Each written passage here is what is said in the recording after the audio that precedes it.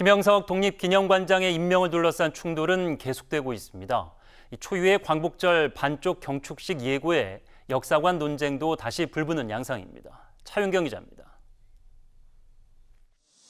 더불어민주당 의원들이 김영석 독립기념관장의 임명 과정을 따져보겠다며 독립기념관을 찾았습니다.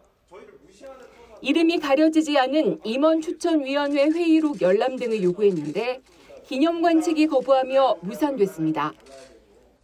무슨 이유에선가 보여주지 않습니다. 이게 아마도 이 인선 자체도 문제가 있지만 과정 자체에도 문제가 있다라는 것을 방증하는 것 같고요. 김 관장은 기자회견을 열어 이미 법적으로 가능한 범위에서 자료를 다 공개했다고 밝혔습니다.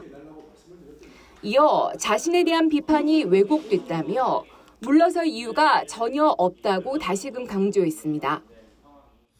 제가 대한민국 정부로부터 독립기념관장을 임명을 받았고 제가 그것을 성실하, 성실하게 수행하겠노라고 공적으로 약속한 마당에서 제가 사퇴해야 될 이유가 전혀 없습니다.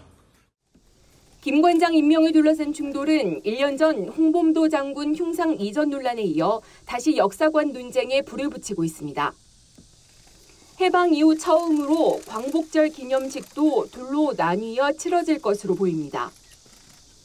내일 오전 10시 정부가 주관하는 공식 경축식은 서울 종로구 세종문화회관에서 열리고 같은 시각 광복회를 비롯한 37개 독립운동 관련 단체들은 서울 용산구 백범 기념관에서 따로 자체 기념식을 열 예정입니다. OBS 뉴스 차윤경입니다.